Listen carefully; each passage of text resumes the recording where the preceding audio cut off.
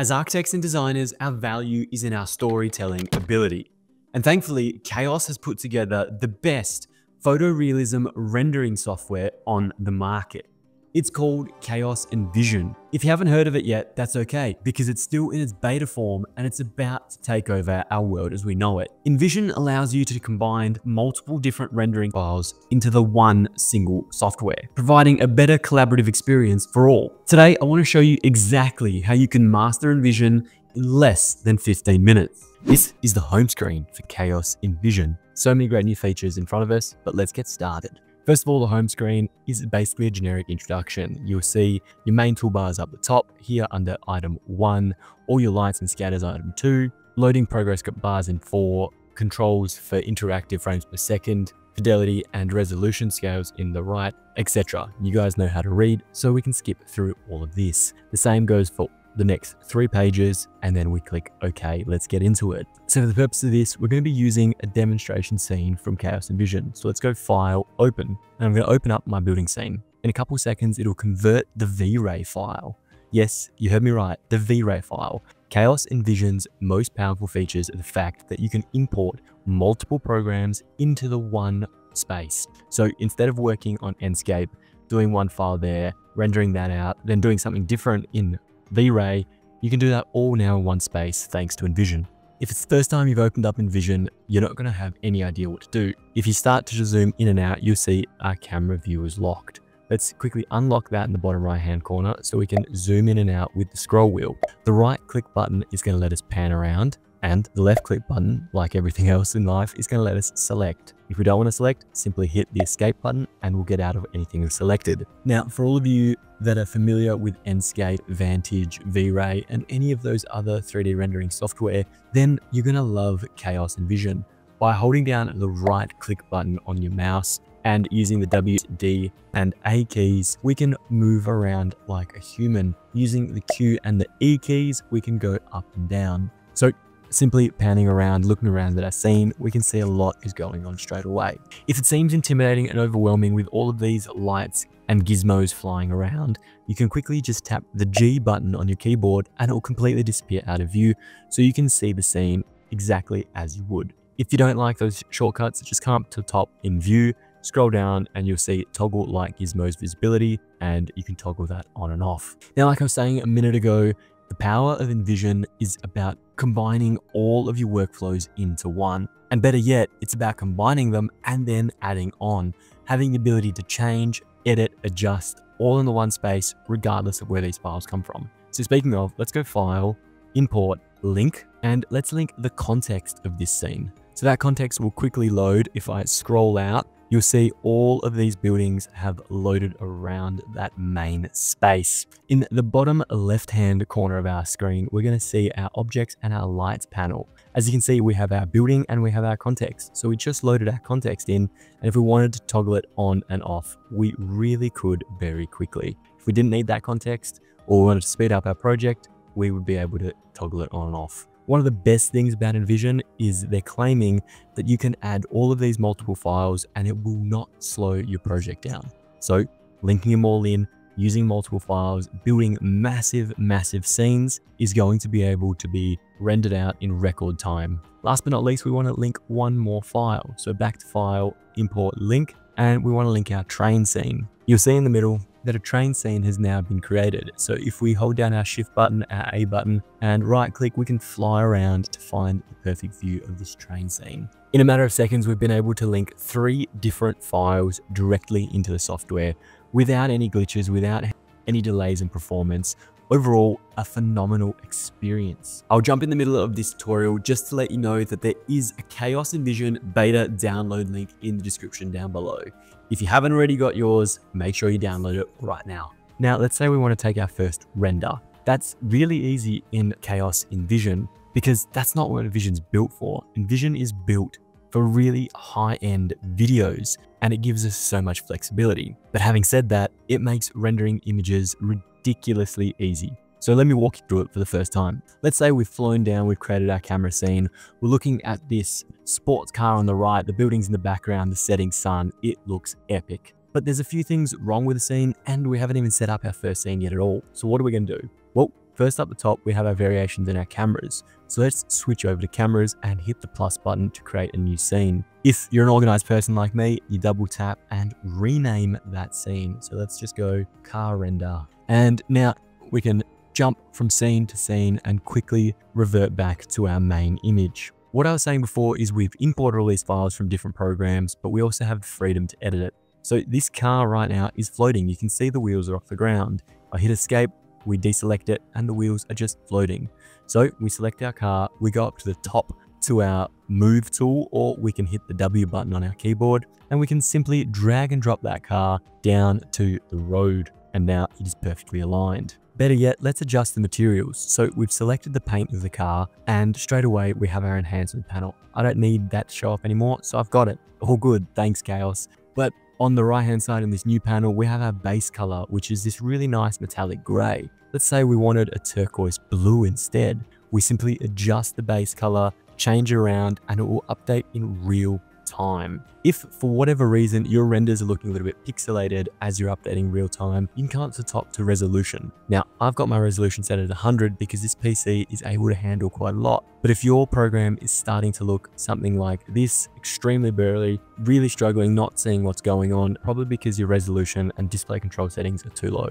So simply click on that, scale it back up, and we'll be able to see the best that Chaos Envision has to offer just like any other rendering software that we're so familiar with like Enscape and Vantage, we can go ahead and adjust our roughness and metallicness and a few other bits and pieces for this particular paint color. So if I drop my roughness down, I increase my metallicness, we'll see things slowly adjust or increase my roughness a little bit more and it goes a different color. If I wanted to change this black rough down the bottom to more of a black gloss, really simple. We're able to do that in a matter of seconds. Now, once we're done with the color picker, we're done adjusting bits and pieces. Maybe we just simply can't get this glass to work. Well, then we can open the material library down below by simply clicking the circle with a small little notch, which is our materials. The next panel over we'll get into a little bit later, but that's our Cosmos library with all of our objects directly available to us. Now, just like every other rendering software, we can scroll through, look for the best material, or we can just simply type in glass see what glass is available to us, and then drag and drop it over the existing glass that we want to change. If, for example, the mirrors in the background weren't enough, we could drag and drop our glass into this background scene of this building so that now we have the beautiful reflection of the car in the background. Now, it's mirrored glass, it's not slightly reflective, but it allows us to really create an incredible scene. If we wanted to go ahead and add a few more objects in, we move to the Chaos library. It is simply the half-eaten cookie over here on the right-hand side, and we have all of our assets through filters. So if we're looking for 3D models, let's say we want to add a person, we can look for single, standing, walking, etc. Potentially some vegetation, maybe some architecture, or even some accessories. Whatever we're looking for, we can find it through the 3D filter, or we can search, same way as before. Let's say we're just looking for a single person. This guy on the bike looks like a great addition to our render scene, so I'll quickly download that drag and drop him into our background. Now, Chaos Envision is really good at predicting where we want people placed, but for whatever reason, if it isn't up the top, you'll see our move, our rotate, and our scale bars. Maybe even a little bit more forward over here into the scene so he's in the light and stands out, becomes our main focal point with the car in the background. In a matter of minutes, we've created an awesome scene, and we've learned a lot with Chaos Envision. We've dragged and dropped in objects, we've changed materials, we've set up our viewpoints, so what's left? Well, we could go ahead, add in some vegetation, potentially a tree of some sort, just into the corner of our scene, and we get some incredible texture thrown in. We get the shadows on the ground automatically update, and everything in between. Really, there's nothing left except for render and export. Now, like I said, Chaos Envision is incredible. It is designed to make some awesome animations and is designed to bring your workflow into one space. But better yet, it makes rendering images ridiculously easy. We simply come up to the top, render, render image, and type in a few different settings. This is pretty much pre-done for us. Preset, we go to the maximum. Quality, ultra. Samples, I'm happy with 64 for the purpose of this. Denoiser, let's keep that on. File format type, PNG is perfectly fine for me. And let's go ahead and drag and drop that into our downloads and press save. Then hit the start button to let it export and in a matter of seconds, we'll see that image rendered out. Now let's open up that image, go full screen and take a look at the quality. That render took maybe 15 seconds to export on this desktop and did a phenomenal job. Chaos Envision has not only made it super easy to render out premium architectural renders, but has made it super quick as well. This image is by far one of the highest quality exports you can get with the lowest input on any rendering software. So let's move back to Chaos Envision and take a look what else this incredible software can do. As you can see, we've created this cool scene, awesome, but we want to do some more. Let's go to our animation panel, drag our car render into our scene at the bottom. You'll see it's a four second render scene. Now, we can have four seconds, we can do a whole bunch of cool stuff, but let's have a play. Now, the concept is the same for everything moving forward. In this four second clip, I'm going to teach you some incredible stuff and show you the true power of what Chaos Envision has to offer. First of all, up the top, we have our environment, which we haven't talked about at all. We haven't played with it, we haven't touched it, but there's so much to go into here. The environment has sun and sky options. Our sky can be automatic, which means generated within the software, or it can be a HDRI sky that we've imported ourselves. For the purpose of this, let's stay on automatic. And let's just change to a different render view. Now that we're looking at the train and the buildings and the sky in the background, back at our environment and sky tab, we can play with our density of our clouds. So you'll see they become thicker or thinner. We can play with the variety of the clouds, how they look, etc. moving all the way down. Each one is a very simple slider that allows us to fine tune the sky exactly how we like. And if the slider is driving you nuts, simply click type and press enter and everything will be done for you. The wind animation and the wind intensity also helps to create a more lifelike scene and they're simply a toggle switch on and off. One thing that I dislike at the moment is for some reason the cloud settings is here, but then in the sun, the cloud shadows is here. So to me personally, the cloud shadows should be under the clouds toggle tab, should all be aligned, but maybe they'll fix that in a future update. For now, just be mindful that the sun settings to turning on clouds is in sky, but changing and adjusting the shadows is in the sun for whatever reason. I guess it makes sense, sun, shadows, but moving on. If you do want to get real specific about your sun and sky settings, you can turn on geometry, adjust your latitude, longitude, your daytime, year, and have the perfect scene setup that's specific to your location. For me in this scenario, it doesn't really matter, so I'm just going to toggle geolocation back off. Let's move back to our car render view, drag and drop that back into our timeline, and walk you through how we can adjust the first scene. So with the slider at 0, 0, that's where our scene's starting. That's where our first keyframe is. Keyframe being this tiny little blue triangle. If I press play, the timeline goes across and nothing happens. But I kind of want it to move. I kind of want it to do something. How do I do that? Well, easy. All we need to do is actually move our camera forward. So if we start flying in to the man over here, whilst our timeline is at four seconds, it will automatically create that new keystroke. And now if I zoom back on my timeline back and forward, you'll see we're adjusting from our original place to the man. Pressing play, we're coming closer. Obviously, if that's too quick for you, you simply drag out that timeline, click on that key, and drag it to where you want it to be.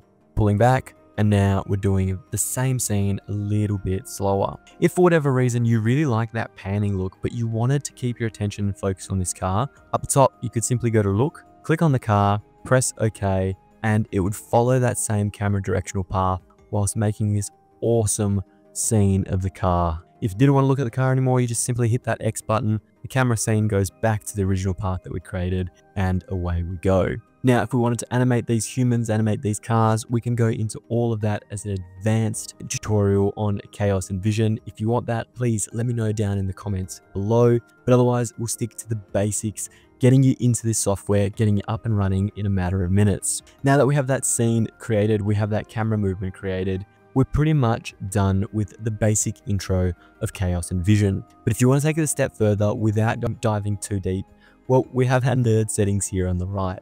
Of course, we have our field of vision, our camera length, our exposure, depth of field, and our color corrections. So if you wanted to become a little bit more artistic, a little bit more moody, or create a very unique scene that's perfectly tailored to you, well then we can adjust that here. For example, our focal length. If we wanted a 100 meter, millimeter focal length, directly looking at this man, really zooming in all the way, well, we go ahead and create that straight away. If we wanted to create a depth of field with an aperture distance and a focal bokeh, we can go ahead and pop that in. Let's go 20 meters and everything behind is blurred out. Adjusting that focal length to 50 millimeters again, hitting play, and we've got an even more ambient scene created. Color corrections works the same way as everything you've ever looked at before in a color correction software. And if you haven't, well, it's so self-explanatory.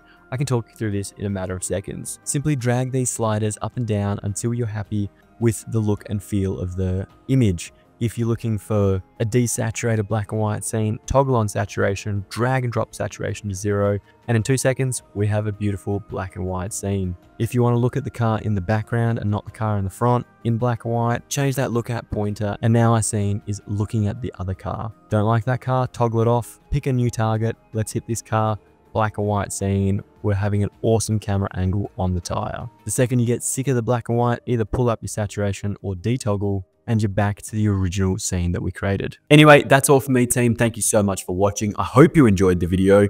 If you want to try Chaos Envision for yourself, there is a beta trial link down in the description below.